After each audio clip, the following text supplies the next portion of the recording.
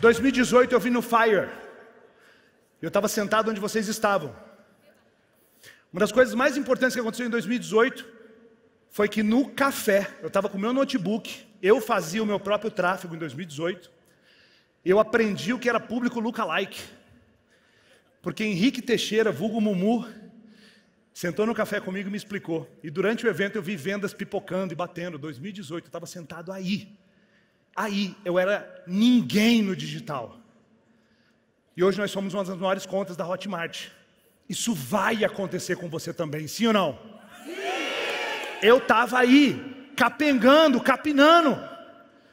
Anos depois a, a, coisa mudou. Mas o que que fez eu, a Karina, minha esposa, os negócios que a gente tem, sair de um faturamento de 10 mil reais por mês para o que aconteceu nesse primeiro semestre, onde a gente faturou 7 milhões de reais por mês nesse primeiro semestre.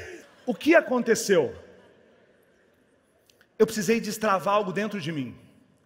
Porque eu acreditava que o problema era equipe, o problema era estratégia, o problema era tudo isso. E quando a gente fala sobre desenvolvimento humano, o quanto pode destravar as pessoas. Eu vejo muitas pessoas preocupadas com a parte técnica. É interessante, é importante, como que eu faço conteúdo, como é que eu crio um produto sexy, como é que tudo isso mas o seu negócio é do tamanho das suas crenças. O seu negócio é do tamanho das suas crenças. CPF pequeno, como o Marcos Marques diz, né? CPF pequeno não consegue criar CNPJ grande.